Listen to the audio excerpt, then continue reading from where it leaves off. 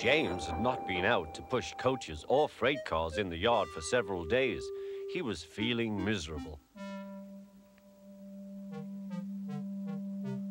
Oh dear, he thought, I wonder how long I shall have to stay in the shed. Will anyone see my red coat again?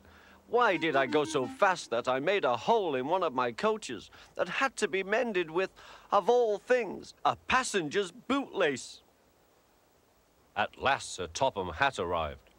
I know you are sorry, James, he said, and I know too that you want to be a useful engine. People are laughing at my railway, and I do not like that at all. I will try hard to do my best, said James. That's a good engine. There's nothing like determination. I want you to pull some freight cars for me. James was delighted and puffed away.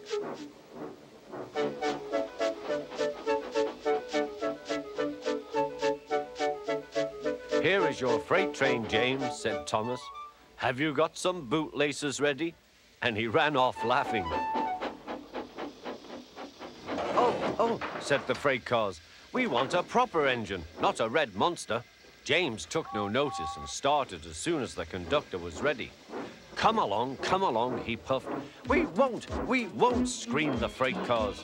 But James didn't care, and he pulled the screeching cars sternly out of the station.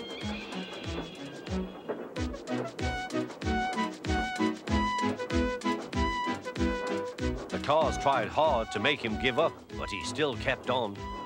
Sometimes their brakes would slip on, and sometimes their axles would run hot, and each time the trouble had to be put right. And each time James would start again, determined not to let them beat him. Give up, give up, you can't pull us, you can't, you can't, call the cars. I can and I will, I can and I will, puffed James. But slowly but surely, he pulled them along the line. At last they saw Gordon's Hill. Look out for trouble, James, warned his driver. We'll go fast and get them up before they know it. Don't let them stop you. So James went faster, and soon they were halfway up.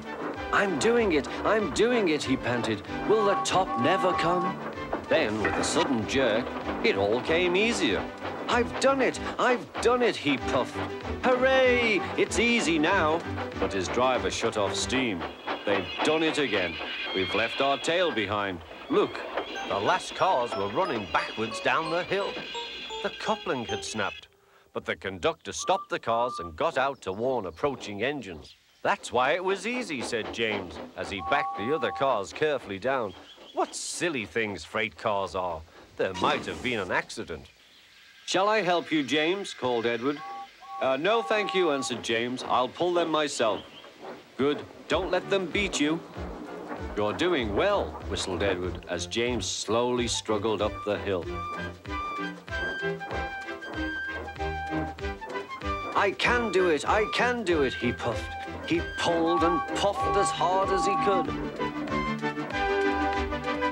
I've done it, I've done it, he panted.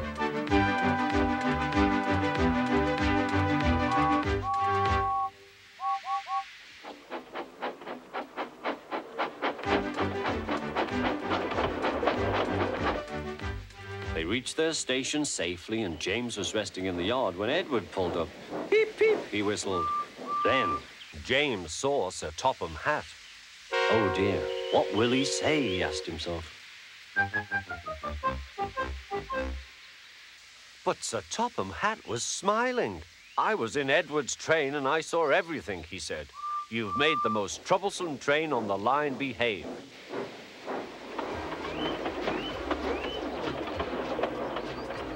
After that, you deserve to keep your red coat.